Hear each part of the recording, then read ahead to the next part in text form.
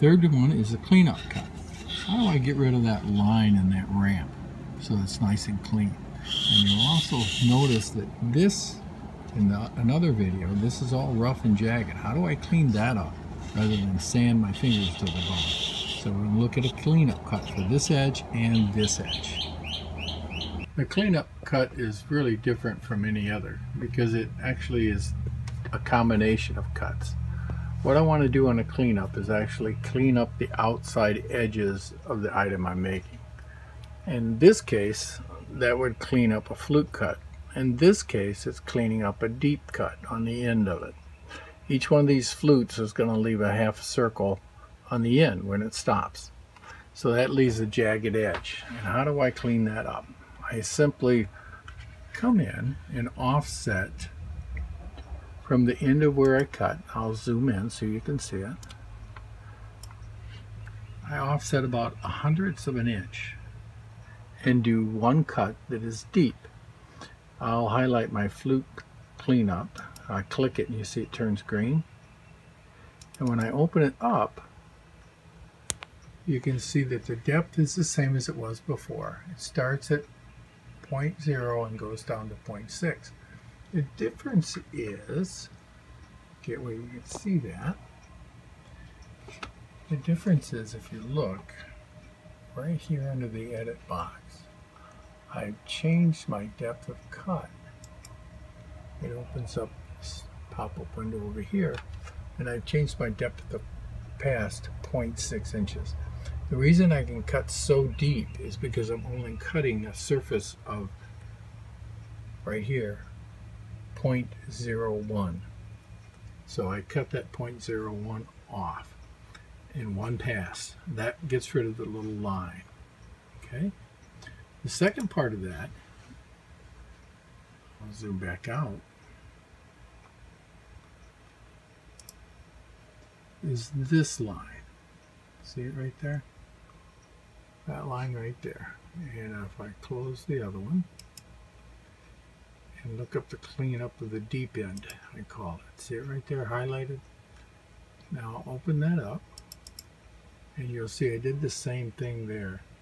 It does it in one pass. That's how you get cleaned up without an edge. See it right there? One pass.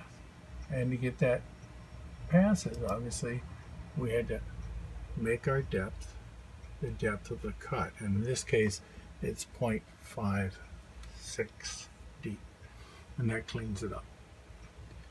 All right, so we've got that. So when we do both of those, if I close it, so we can go and jump to our modeling. And I'm just going to preview the ones that I've got. You don't want to do the cut this way because it's, it would require too much force on your bit. And so I'm just going to preview it and you'll see how it cuts cuts, and then cleans. So that's my cleanup passes. But all this has been removed first. So I, and all this has been removed first. So that way it cleans it up last and it's easy on the tool and makes a nice smooth appearance. Now if we look over here you can actually see that when I tell the tool to do something the order that it appears here is the order that the, the tool will operate in. I do, do my holes first, then I do my flute, then I do my flute cleanup, and then the end cleanup, and then I cut my finger tabs. Those are the orders that I do it.